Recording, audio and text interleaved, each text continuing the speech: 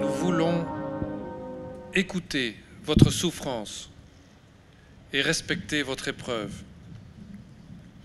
La reine et moi avons rencontré beaucoup d'entre vous à la haine et à la violence.